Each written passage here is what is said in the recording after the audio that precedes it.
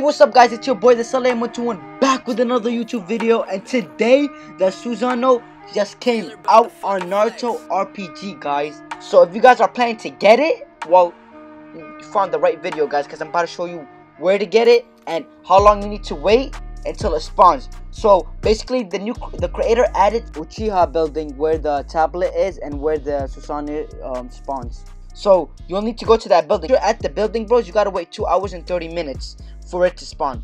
Alright, so you'll need to keep resetting or go to the Leaf Village. Once you're at the Leaf Village, just go this way. Get out of this exit. Once you leave this exit, just keep going straight and make a left turn. And you should start seeing the Uchiha, um, the new Uchiha building right there. Go over there, bros. And I have a feeling that the the Susani um, spawns at the um, what's it called the tablet where the where the writing is.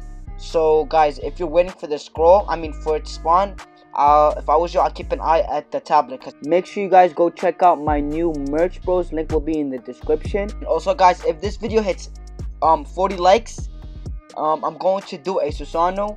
Uh, I don't even know if I said it right, but yeah, I'm going to do a showcase about this new form.